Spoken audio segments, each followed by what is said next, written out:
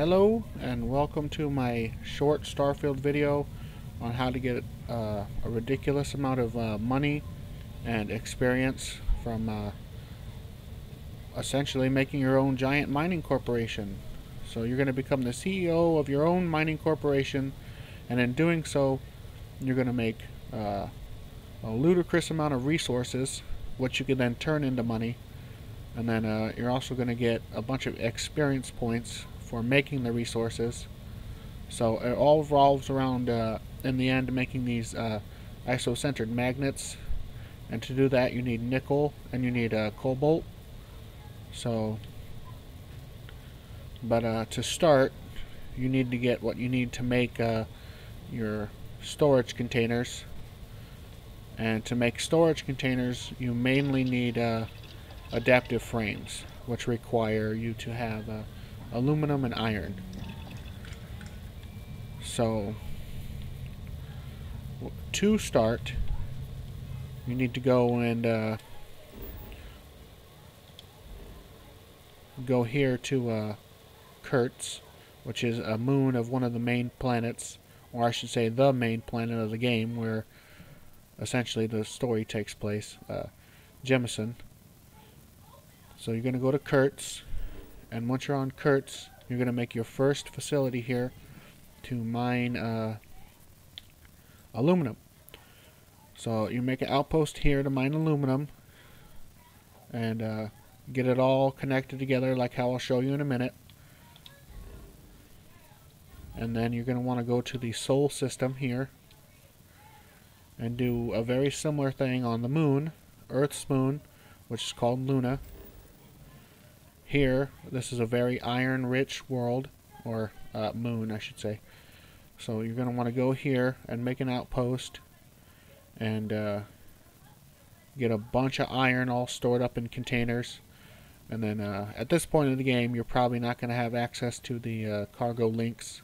So you're going to have to go back and forth between these worlds with a essentially a giant cargo ship. You can just slap something together out of it doesn't have to move fast or even have weapons on it. Just slap a bunch of cargo containers together, put an engine on it and a grav drive and a shield, and then just that's all you need. As long as you have space to store stuff, just uh, uh, should you get attacked by something, just grav jump to another system. Just as long as you got a decent shield and you're you're good to go. So just uh, make yourself a giant cargo ship essentially, and just uh, use that to go between these worlds. So,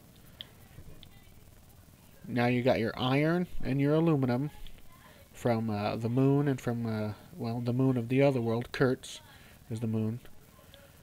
So, you get those, and you're going to want to go to, to Venus once you get your system set up.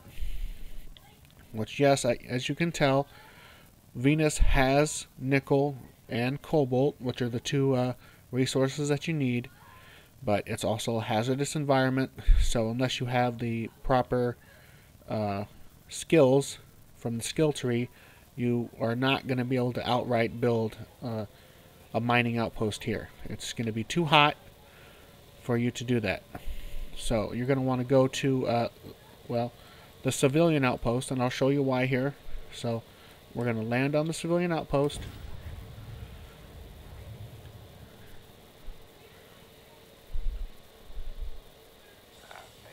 So here on Venus, that's where we're at. Hmm.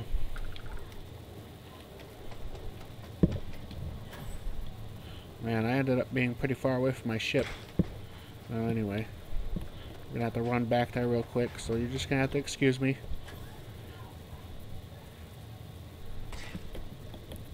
While I get over there. Guess I could just fast travel there. Anyway.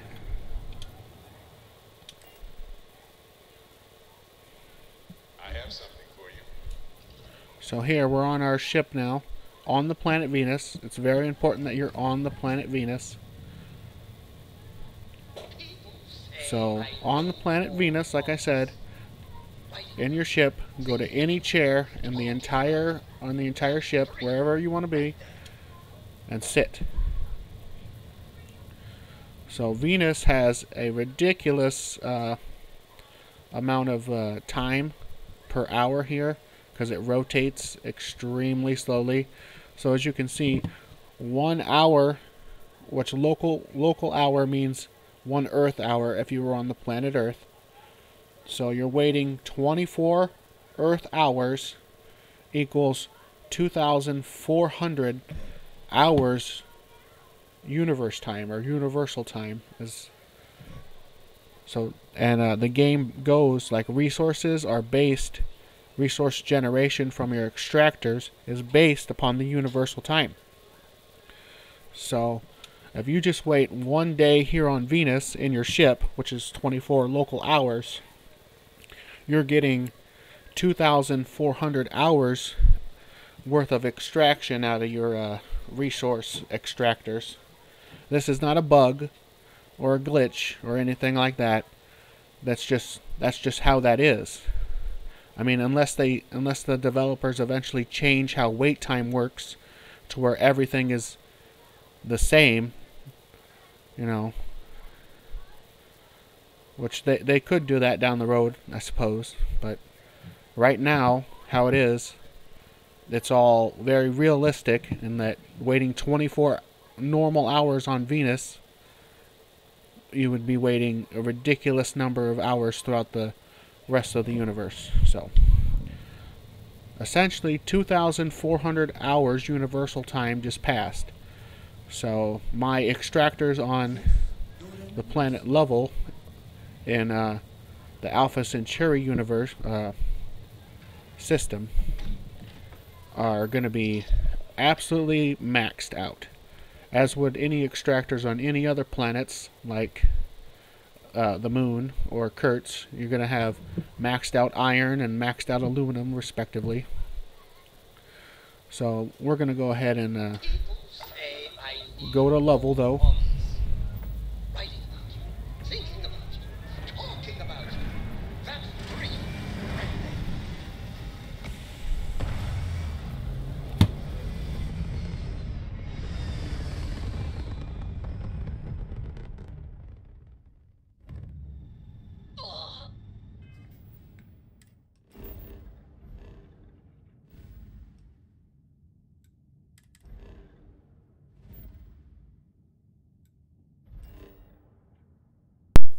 So now we're on uh, level here. And uh, we're going to go ahead and go to our outpost that we made on level. Level. You're going to be leveling on level. Hey, you might want this. So here we are. I'll show you the setup now like uh, I said I was going to do earlier. Very low gravity on this planet. So let me open up the uh, outpost. So your your outpost is going to be very similar on every single planet that you do this. So here on level, which has a lot of cobalt and nickel, like I said, you're going to want to find a place where you have cobalt and nickel. So apparent like uh, you're going to want to land on the border of two uh, the deposits. So here, as you can see, I have a lot of cobalt here and this blue patch here, and I'm circling around. And then I have some uh, nickel over here in this uh, very circular patch right here. So you're going to want to find a place that has the two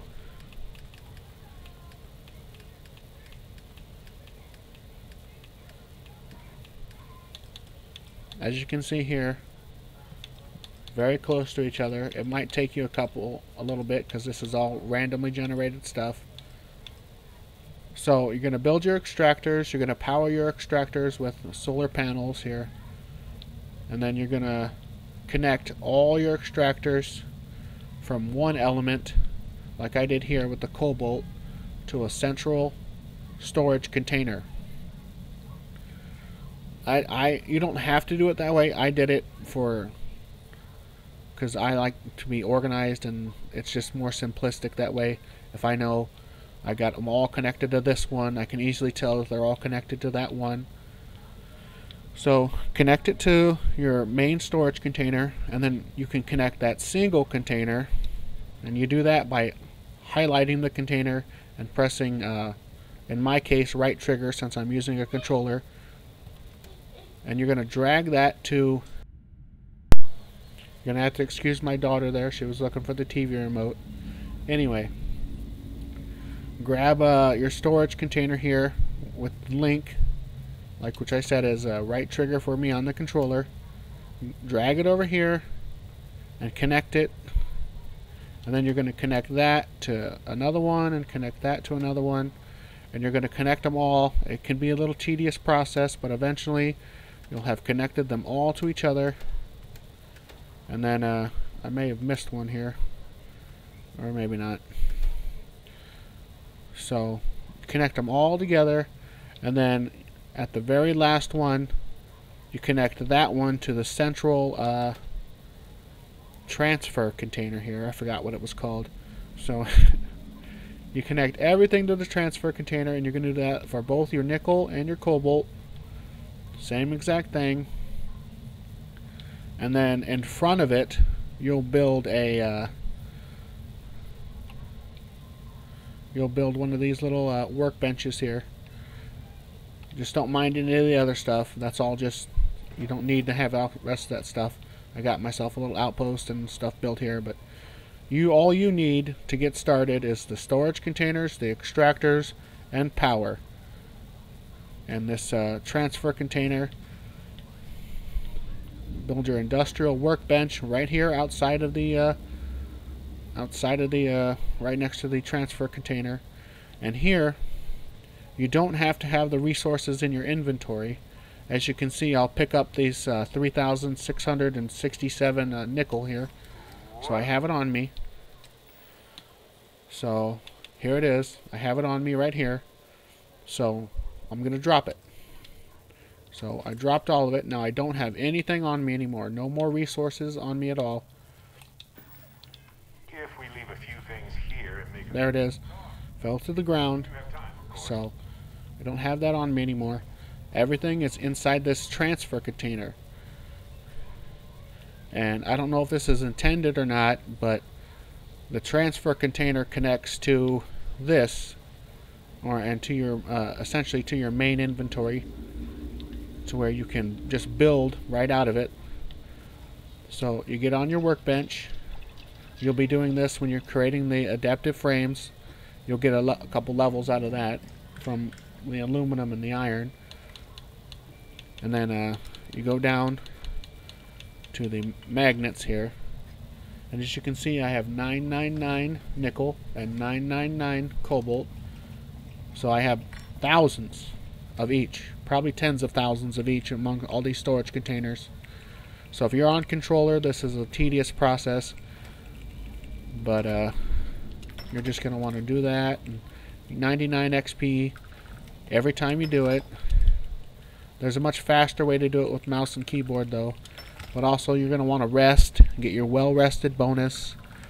Find some sort of uh, food or, or drink or medicine or whatever you can find. Some sort of aid item to increase your XP. I know there's a couple out there. I can't remember what any of them are called. But there's a couple out there. So find one of those. Get rested to maximize your XP. And then uh, if you're on controller, uh, you're going to be here a minute. But if you're on computer, you can just uh, bring the magnet up to the top of the list and rebind your keyboard uh, to have the mouse uh, confirm button as the mouse 3, which is what I did, which is my mouse wheel click down, and then uh, leave everything else the same. So I can uh, left click here to drag this, or I can just leave my mouse over here towards the end and click and it'll bring me up to the maximum amount and then I can click my mouse button and I can just sit here and make so many so many many of these magnets. And as you can see um, you can see 800 XP uh, 980 XP 785 XP so as you're sitting here doing this You just sit here, you do this until you're out of uh, until you're out of materials, which that's going to take you a minute when you got a setup as big as mine. And then you just go back to Venus and you rest, and uh, then come back and do it again. And you just rest and repeat, rest and repeat, and then you take your magnets to the trade authority or whatever your preferred vendor is that you have access to with the most credits, and you just sell them. And there you go. You got money, and you got experience, and next thing you know, you're going to be level. Uh, might take a couple hours, especially if you're on controller only.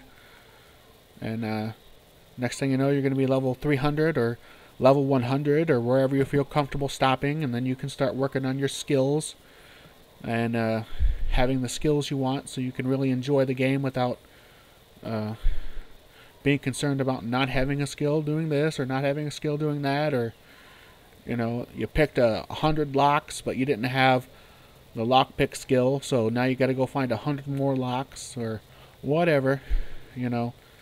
You know just you can put one point into every skill so you don't have to stress about missing uh, missing something. You're leveling up everything as you're going through the game while you're doing stuff.